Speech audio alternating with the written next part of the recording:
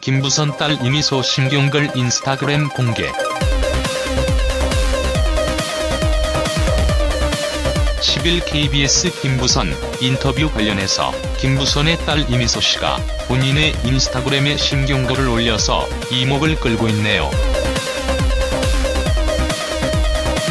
10일 저녁 KBS 뉴스에 출연해 세간의 화제가 되고 있는 이재명 스캔들 관련해서 거짓이라면 천벌을 받을 것이고 당장 구속돼도 어쩔 수 없다. 내가 살아있는 증인이다라고 강조하면서 인터뷰를 한 바 있는데요. 11일에 김부선은 또한 번 자신의 페이스북에 이 시점에 거짓말이 필요한 사람은 이재명이겠습니까? 김부선이겠습니까? 라는 글을 올렸습니다. 아래 오른쪽에 보이는 사진은 2007년 12월 바다를 배경으로 해서 이재명 후보가 본인을 찍어준 사진이라고 밝힌 바 있습니다. 한편 딸 이미소 씨도 이날 인스타그램을 통해 이재명 후보와 김부선 씨의 사진을 자신이 폐기했다고 밝혔습니다. 다음은 이미소 씨가 11일 인스타그램에 올린 심경글. 안녕하세요. 이미소입니다.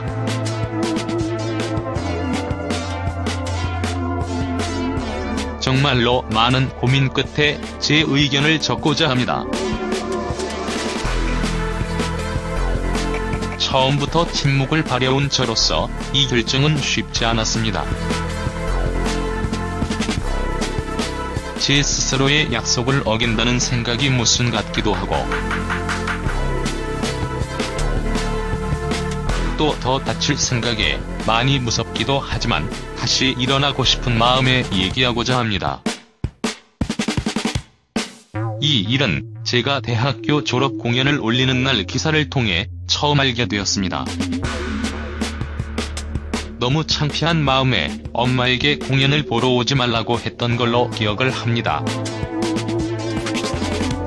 그 후 졸업 관련 사진을 정리하던 중 이 후보님과 저희 어머니의 사진을 보게 되었고 그 사진을 찾고 있는 엄마를 보고 많은 고민 끝에 제가 다 폐기해버렸습니다. 그 이후에 그런 손편지를 쓰게 되었고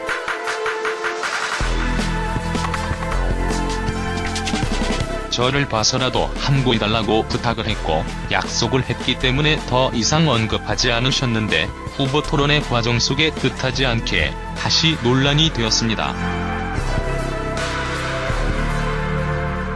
세상 사람들 중에서는 이번 선거의 결과 때문에 엄마와 그분의 그 시절 사실관계 자체를 자꾸 허구인 양 엄마를 헌증 환자로 몰아가려고 하시는데 그때 당시의 진실을 말해주는 증거라 함은 제가 다 삭제시켜버렸지만 사실 증거라고 하는 것이 가해자가 자신의 결백을 입증하기 위해서 제시해야 하는 것이지. 피해자가 자신이 피해받은 사실을 증명해야 할 필요는 없다고 생각하기에 또한 사실상 모든 증거는 저희 엄마 그 자체가 증거이기에 더 이상 진실 자체에 대한 논쟁은 사라져야 한다라고 생각합니다. 저는 시끄러운 걸 싫어합니다. 제 탄생 자체가 구설수였기 때문에 앞으로는 모두가 조용히 살기를 바랬습니다.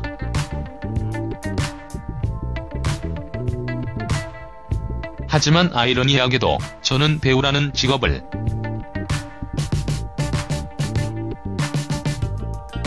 하게 되었고 무명 배우 이지만 누구의 딸이 아닌 배우 이미수라는 이름을 갖고자 노력했고 그 환경과 그런 제 성향에서 상처받지 않고 망가지지 않으며 예쁘게 살고자 늘 제 자신을 탐구하는 사람입니다. 항상 논란의 중심에 서 있는 엄마가 싫었고 그래서 저는 여지껏 어떤 일이던 엄마의 입장에서 진심으로 엄마의 마음을 들어주지 못하고 회피하고 질책하기 바빴습니다.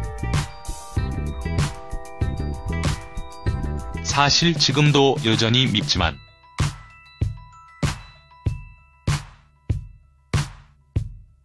이번만큼도 제 마음 편하고자 침묵하고 외면한다면 더 이상 제 자신을 사랑할 수 없을 것 같다는 생각이 들어 이런 얘기를 하게 됐습니다. 논란이 되겠지만 저는 논란을 일으키려 하는 게 아닙니다.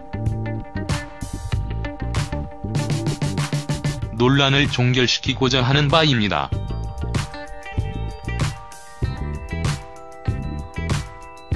서로의 실수와 지난 일로 과거에 머무는 것이 아닌 모두가 각자의 자리에서 소명의식을 갖고 제 역할을 잘 하길 바랄 뿐입니다. 또 더 이상 선거 잔치에 저희를 초대하지 않기를 바랍니다.